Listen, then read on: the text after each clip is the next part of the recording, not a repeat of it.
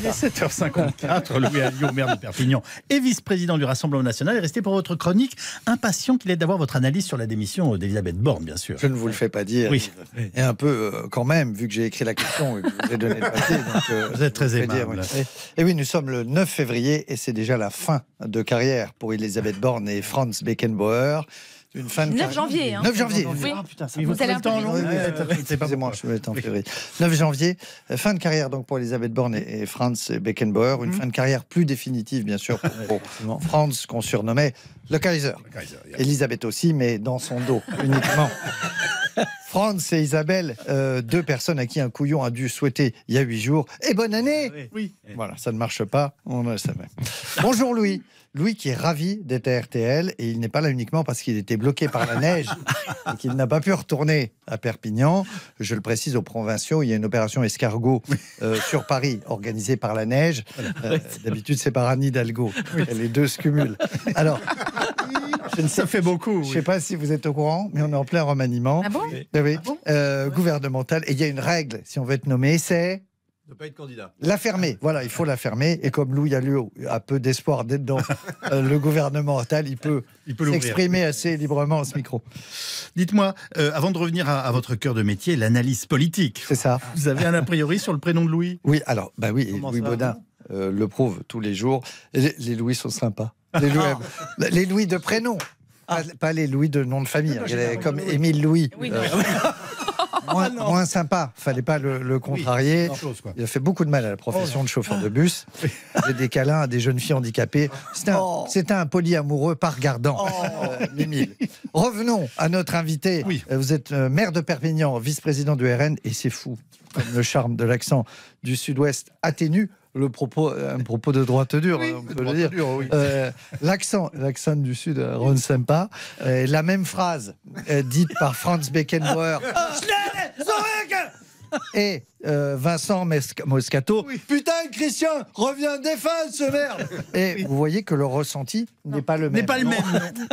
Alors, le roi de la jovialité méridionale, c'est le maire de Béziers. C'est c'est Bon, Robert- vous tenez une Robert, très bonne image. Robert Ah Ménard. Je- alors j'ai théo- théorisé sa technique euh, qui est imparable. Euh, c'est la technique dite du tutoiement inclusif. Non, oui, il, ah il ferait, non mais tu le sais, Yves, non, on va pas se raconter la messe entre nous. Louis, euh, il y a mon pote Louis de Perpignan qui est là. Non mais arrêtez vous rigoler, non, arrêtez de rigoler. Non mais rigolez pas. Non mais arrêtez. arrê- non mais arrêtez. On va être sérieux deux minutes. Non mais arrêtez. Non non. Louis, j'ai vu sur Twitter là, là, euh, X, tu- on s'en branle. Euh, tu as, fait le défilé des, des rois mages. J'ai vu la photo. Il y, avait un noir. euh, J'ai rien contre les noirs. J'ai- On a bien compris. Mais à Béziers, je ferais pas ça. Je- non, ça inquiéterait les gens. Yves. Tu- Non, on se dit les choses, franchement. Bien. Alors, l'actualité politique, Oui. Philippe, c'est quand même Gabriel Attal, Ah oui, bah, qui, pourrait, qui pourrait être nommé Premier ministre. Oui. Mais oui, mais oui, Ah oui, ouais. Pour Gabriel, euh, l'école est finite. Euh, Gabi quitte l'école en cours d'année. Il n'aura même pas passé son Non. diplôme. Gabriel, c'est le premier élève qui devient directeur pendant son année scolaire. Ouais. Non, mais il est doué. Il est doué. Il y, a, il y a clairement une nouvelle génération qui déboule avec Gabriel Attal. euh, avec Jordan Bardella, euh, 28 ans, que Marine Le Pen appelle le petit génie, euh, que vous appelez le petit homme foiré. Alors, il y a- y, y petit en commun, euh, quand même. Alors, euh, elle ne fait pas que des heureux, la, la nomination de Gabriel. C'est dur pour euh, Gérald Darmanin, c'est dur pour Bruno Le Maire. Bon, ben, je me la glisse dans mon renflement brun, la, la place de Premier ministre. Non, comme quoi, euh, à- à- à- comme moi, à la rentrée prochaine, quand je vais prendre les rênes de la matinale, Ah oui. si, Ah, oui. si, je, si je prends les rênes. Pardon, il- n'est pas au courant?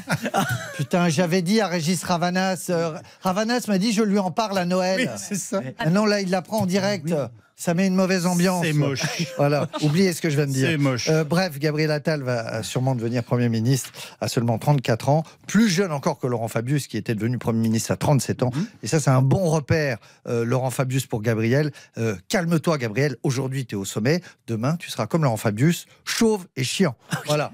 C'est la courbe euh, normale de la vie. On devient chauve et chiant. Alors un mot rapide, rapide, Rapide. Elisabeth Borne, rapide. Rapide, comme un lapin. Non, bon, non. Bah, ça marche ensemble. Euh, oui. Qui a remis sa démission à Emmanuel Macron. Alors, Rabit, Il a accepté. Rabit. Alors, oui, Emmanuel Macron a remercié Elisabeth Borne pour son travail exemplaire au Voilà. service de la nation. Et c'est précisément euh, pour cet excellent travail qu'elle dégage. Donc, c'est de la logique républicaine. Vous ne Oui. pouvez pas comprendre.